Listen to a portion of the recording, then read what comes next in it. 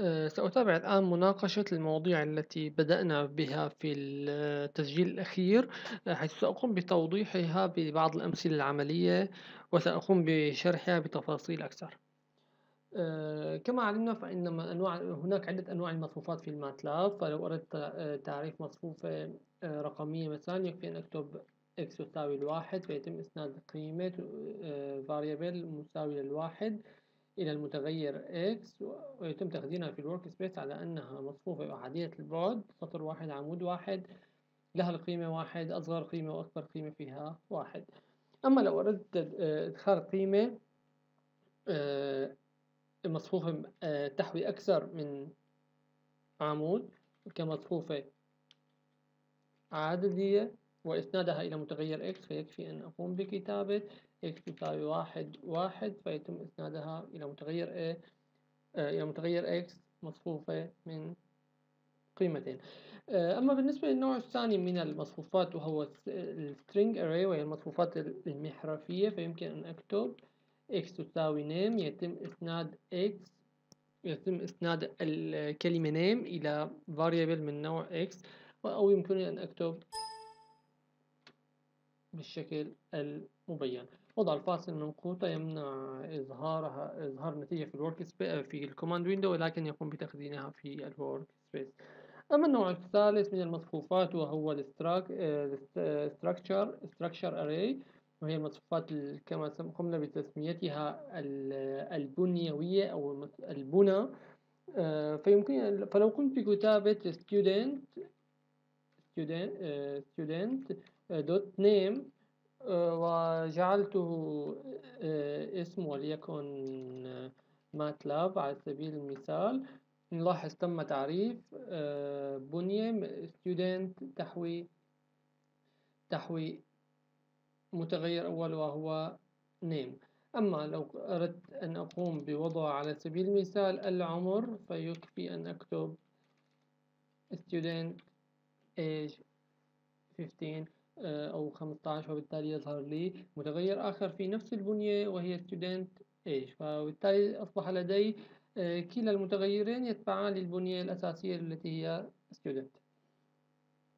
آه، أما بالنسبة للعمليات المنطقية التي قمنا بمناقشتها سابقا فدعونا نسلط الضوء عليها بشكل بشكل سريع.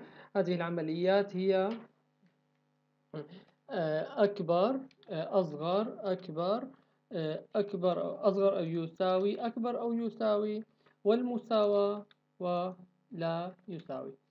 فلو كان لدي متغير a تساوي الخمسة آه، وأردت أن أفحص هذه القيمة بشكل منطقي هل a أكبر من الواحد؟ فسيعيد القيمة واحد منطقي كدليل على أن القيمة أكبر من الواحد. أما لو قمت بجعلها هل أكبر من العشرة فسيعيد لي صفر منطقي لأن قيمة a كما هو موضح مساوية للخمسة.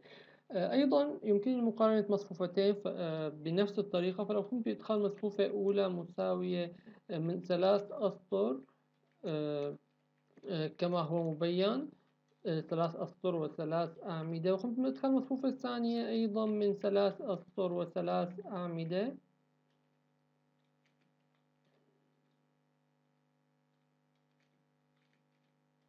الآن لو قمت بكتابة A تساوي البي آه، كاستفسار سيعيد لي آه، صفر منطقي أن جميع قيم المصفوفة A غير مساوية لقيم المصفوفة B. أما لو قمت بوضع الشرط لا تساوي البي فسيعيد لي القيمة المنطقية واحد منطقي أن جميع قيم المصفوفة A غير مساوية لقيم المصفوفة B. هذا بالنسبة للعمليات المنطقية. أكبر أصغر أكبر يساوي أصغر يساوي والمساواة وعدم المساواة أما بالنسبة للعمليات الأساسية على المتغيرات والمصفوفات فهي كما هو كما هو معروف للجميع فهي الجمع الطرح والضرب القسمة.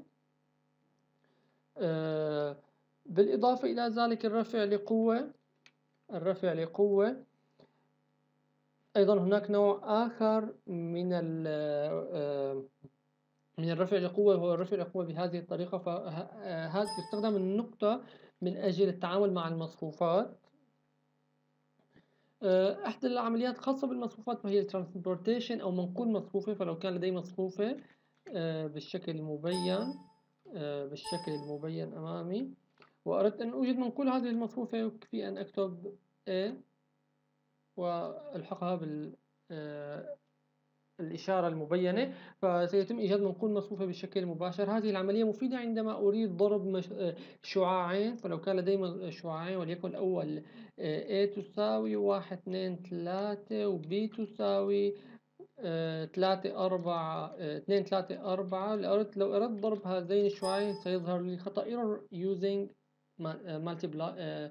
multiplication. Inner inner matrix dimension must be agree أي أن أبعاد المصفوفتين غير متساوية لا يمكن إجراء هذه العملية عليها. ومن أجل ذلك سأقوم بعملية الضرب بشكل مختلف كما هو مبين وسأحصل على النتيجة 20 وهي نتيجة ضرب الشعاع الأول بمنقول الشعاع الثاني. آه، أيضا آه، يمكننا